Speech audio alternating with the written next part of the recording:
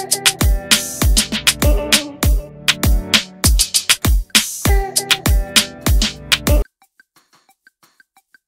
ทธตานระลึกชาติเป็นการะเกตถึงพิษณุโลกตกใจเจอพระรานรงหน้าเหมือนพระเรือง พุทธตานระลึกชาติเป็นการะเกตถึงพิษณุโลกตกใจเจอพระรานรงหน้าเหมือนพระเรือง พบยายกลอยตกใจเจอหลานสาวที่ตัวเองเคยทำร้าย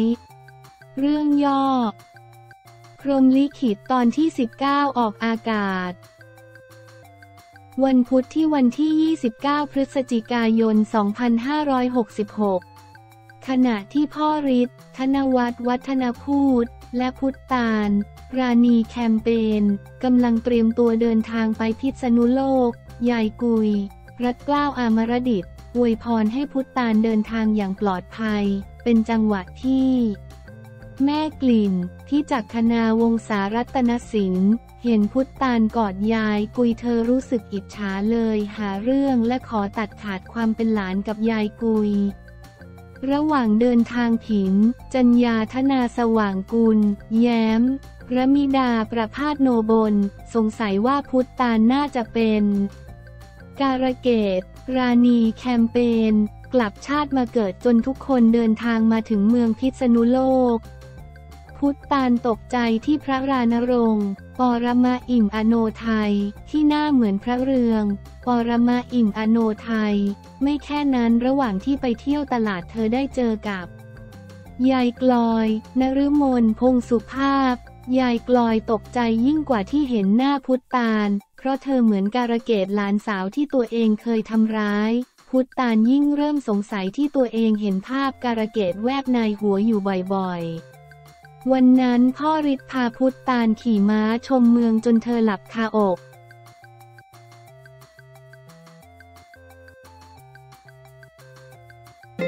กทกมทเกษตรศาสตร์ลุย สอบต่อปมหมูเถื่อนหลังย้าย อธิบดี DSI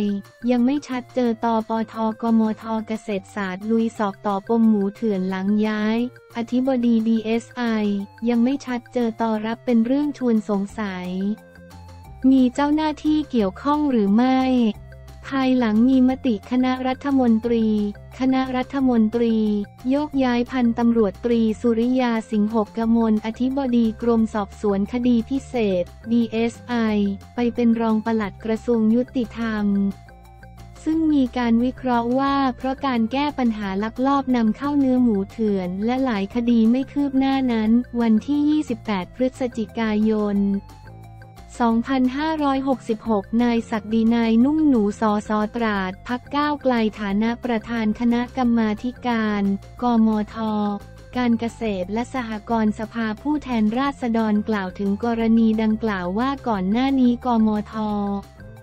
ได้ติดตามการแก้ปัญหาการลักลอบนำเข้าเนื้อสัตว์ผิดกฎหมาย และเชิญเจ้าหน้าที่ที่เกี่ยวข้อง อาทิ กรมปศุสัตว์ กรมศุลกากร กรมการค้าภายในเข้ามาชี้แจง ซึ่งยังไม่มีข้อมูลชัดเจนว่ามีบุคลากรหรือเจ้าหน้าที่รัฐเข้าไปเกี่ยวข้องหรือไม่แต่กมทมีความกังวลจากการติดตามพบว่าเรื่องการนำเข้าเนื้อหมูเถื่อนนั้น ทาง DSI ได้เข้าไปตรวจสอบอยู่ในขณะนี้ แต่กลับมีคำสั่งย้ายซึ่งดูเหมือนว่าจะไปเจอของแข็งหรือไม่ เด้งฟ้าผ่า พันตำรวจตรีสุริยาพลเก้าอี้อธิบดี DSI เส้นคดีหมูเถื่อน อดีตอธิบดี DSI เคลื่อนไหวหลังโดนเด้งเผยทำใจอยู่ตลอดไม่เสียใจ ทำเต็มที่แล้ว ธรรมนัตแจงเด้งอธิบดี DSI ไม่เกี่ยวเส้นปมหมูเถื่อน โยกย้ายปกติเมื่อถามว่าจากข้อมูลที่มีประเมินได้หรือไม่ว่ากรณีที่อธิบดี DSI ถูกย้าย เพราะเป็นการเชือดไก่ให้ลิงดู หรือเพราะทำงานแล้วเจอตอนนายศักดินายกล่าวว่า ตอนนี้ยังไม่สามารถประเมินได้ แต่กรณีแก้ปัญหาหมูเถื่อนนั้น ปฏิเสธไม่ได้ว่ามีประเด็นของผู้มีอิทธิพล เพราะการทำงานของ DSI ต้องแสวงหาข้อเท็จจริง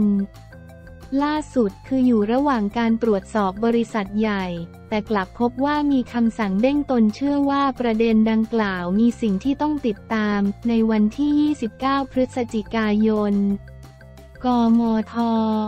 ได้นัดประชุมเพื่อหารือเพื่อเตรียมความพร้อมกับการเปิดสมัยประชุม แต่เมื่อมีเรื่องดังกล่าวเข้ามา เชื่อว่ากมท จะพิจารณาร่วมกันและจะสาะแสวงหาต้นตอของปัญหาที่เกิดขึ้น ทั้งกระบวนการทำงานของเจ้าหน้าที่ รวมถึงปัญหาอื่นๆ ของเกษตรกร เช่นสินค้าเกษตรบางตัวที่ราคาตกต่ำ โรคระบาดมะพร้าวการเพาะเลี้ยงสัตว์ รวมถึงหมูเถื่อนด้วย ซึ่งจะเชิญหน่วยงานต่างๆ มาสอบหาข้อเท็จจริงส่วนความเห็นใด ๆ ต้องรอให้สรุปชัดเจนอีกครั้ง นายศักดีนายกล่าว เมื่อถามว่าส่วนตัวให้น้ำหนักกับการโยกย้ายอธิบดี DSI ไปทางใดมากกว่าระหว่างการเมืองหรือการแก้ปัญหาที่ไม่ได้ผล นายศักดีนายกล่าวว่าตนไม่กล้าให้น้ำหนัก เพราะพูดยากแต่ในฐานะกรมทอ ต้องเดินหน้าพิจารณาข้อเท็จจริง ว่ามีประเด็นที่บุคลากรของรัฐเกี่ยวข้องหรือไม่ ซึ่งการโยกย้ายที่เกิดขึ้นเป็นเรื่องที่ชวนให้สงสัย การโยกย้ายที่เกิดขึ้นฐานะกมทจะตามเรื่องนี้ต่อในกระบวนการดำเนินการการดำเนินคดีการลักลอบนำเข้าหมูเถื่อนที่ต้องมีคนผิด รวมถึงกระบวนการที่อาจมีข้อบกพร่อง มีเจ้าหน้าที่เกี่ยวข้องหรือไม่ นายศักดีนายกล่าว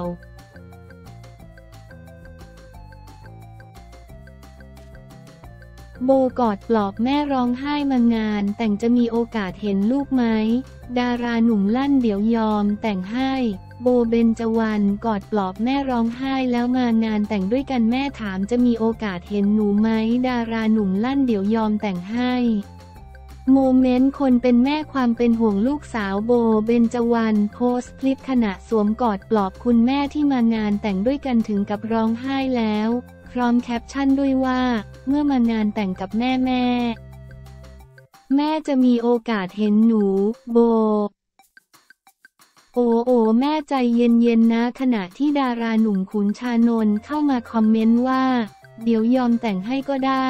ซึ่งโบก็เข้ามาคอมเมนต์ตอบร้องลั่นว่า เอ้ยโดยขุนชานนท์ยังบอกอีกว่าทำเพื่อแม่แกเลยนะ ท่ามกลางกำลังใจจำนวนมากทั้งจากเพื่อนคนบันเทิงและแฟนคลับ อาทิอย่างน้อยมีคนรักตรงนี้แล้วหนึ่งนะโอเอแม่ครับต้องมีแน่ๆค่ะ บอกแม่ไปและจะต้องเป็นคนดีเท่านั้นเพราะโบเป็นเด็กดี กอดกอดนะคะ แม่ขอให้คุณแม่สมหวังในเร็ววันค่ะ สวยเหมือนแม่ต้องได้เห็นแน่ ๆ เป็นต้น